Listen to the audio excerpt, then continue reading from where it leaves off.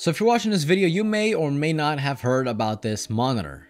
This is from a company called Eve, and uh, let's just say they don't have the best track record for sending out all of their customers the things that they paid for. Back when they released the 2-in-1 PC, a lot of people paid for it and uh, unfortunately did not receive it, or at least yet. But still, whenever they started raising funds for this monitor, I said, what the hell, I put in my $100 fully refundable deposit and um, I just kind of waited and just saw what, what would happen. Um, it took a while, uh, long enough for me to even forget that I even purchased the monitor. Uh, just uh, three weeks ago or two weeks ago, I got the email finalizing my actual final payment for the monitor. And um, about eight days later, the monitor arrived here and it's up and running. So let's go ahead and see the tech specs of this monitor and see what it can do. The monitor is an IPS panel with uh, HDMI 2.1, uh, which is obviously capable of 4K 144 Hz. It also is um, HDR certified with HDR10 and HDR 600. And I can attest whenever you are playing HDR games, it is super bright. Super bright. This monitor is 27 inches diagonal and has a pixel density of 163 ppi. Uh, it has a peak HDR brightness of 750 nits and a typical brightness of about 450 nits. It does cover 98% of DCI-P3 color gamut and 100% of sRGB. G-Sync and FreeSync is built in straight to the monitor and is ready to go the second you plug it in. The back of the monitor does include a USB 3.1 Gen 2 with up to 10 gigabits a second. Um, there's even a power delivery of up to 100 watts, so this could charge your laptop as well um, and other devices too. The monitor does not have uh, built-in speakers as many other monitors do not as well. So you will have to use headphones or maybe just hook up some Bluetooth um, speakers and you're good to go.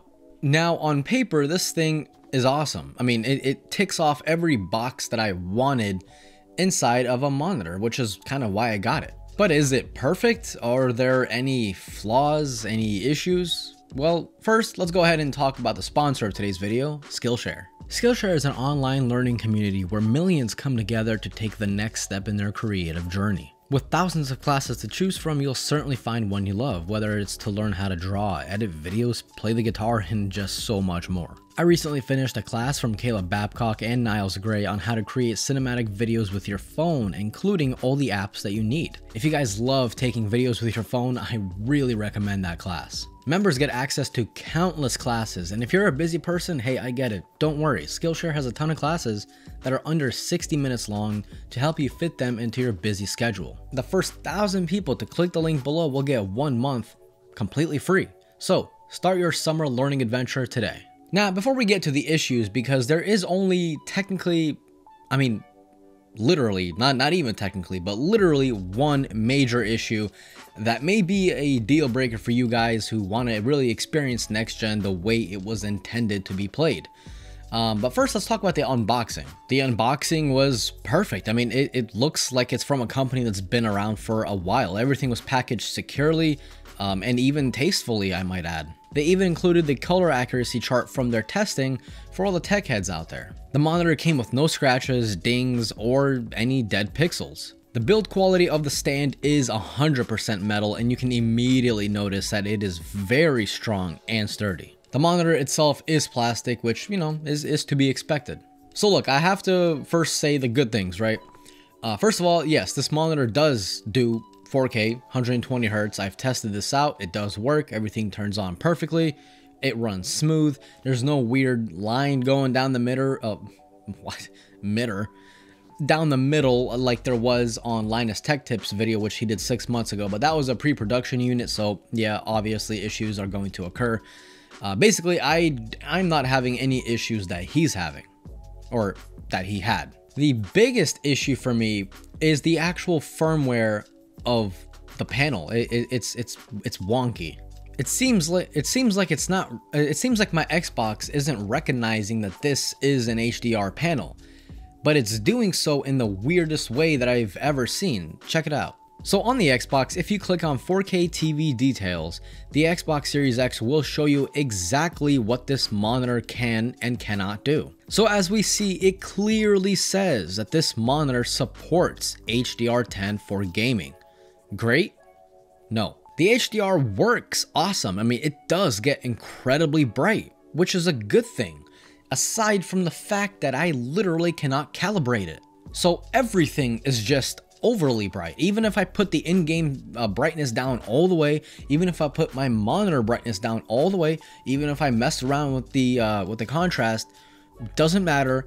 Everything is just bright like that. Everything, dude. You, you you can't play the game. Now, you Xbox guys might be saying, "Well, Mark, duh, you have to calibrate it." I can't. When I click on HDR calibration, it tells me that this monitor doesn't support HDR for gaming. So does it or does it not? I'm getting confused here. I thought it was maybe a 4K 120 Hz kind of weird issue, so I put the monitor down even to 1080p 60, and it still wouldn't let me run the calibration. It doesn't matter. I could do 4K uh, 4K 60 wouldn't do it. I can do 1440p 60 wouldn't do it. 1080p 60 wouldn't do it. 1080p 120 wouldn't do it. I don't know. On my PS5, HDR is showing up on the monitor settings, uh, but again, I still cannot get HDR to work. I cannot, uh, I cannot calibrate it. You know, when you, when you know when, how you calibrate HDR, uh, they show you a picture, one picture you're you're barely supposed to see, the other one you're supposed to see perfectly, right? We all know this. We all have been through it. But I can't see nothing. I can't see no picture on the PS5 HDR calibration. I'm supposed to be seeing something according to the PS5, but I cannot see anything.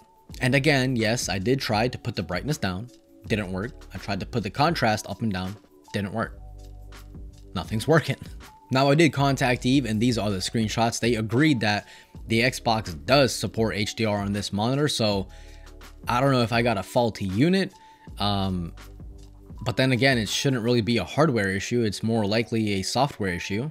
But if it is a software issue, that's even worse because that means every single person that bought this monitor won't be able to play HDR or at least not properly. I mean, not even close. Now, I did put in a support ticket just to make it a little bit more official rather than DMing each other on Instagram like a bunch of high school sweethearts. that was weird. So I will definitely let you guys know with what they respond to. Um, and maybe this is a quick little firmware fix. Who, who knows? I really hope I don't have to send this monitor back because, well, I mean, I don't really know why. I have another monitor right there. Right, it, it works perfectly, so I don't really care. But I really want to use this monitor because it's nice. The bezels are super nice and thin. Uh, great overall construction. I mean, it really looks like a nice monitor. You also have some pretty cool gaming settings such as putting a crosshair on the screen, you even have a frame rate counter, and a response time overdrive. So since Eve is basically a startup company, I expect there to be issues. It's just gonna happen, especially from a startup company. Um, but if we look back to Linus uh, Tech Tips video uh, that he did on the pre-production model, I think from like last year, there were a ton of issues, man. I got scared. So again, I'm happy to say that none of what he was experiencing is on the actual final product, but it's still not working fully other than that, the gameplay is is is fantastic. I mean, all the games play on there. There's no weird screen tearing. There's no jitters. Again, there's no dead pixels. Overall, it's it's a great panel. I mean, just god damn it, I really wish HDR worked. That, that's all I want. That's all I wish for. Again, I will keep you guys up to date on what exactly happens. Hopefully, again, hopefully, it's just a simple firmware fix. Hopefully. I mean, I already waited a year for this monitor. I don't, I don't want to send it back.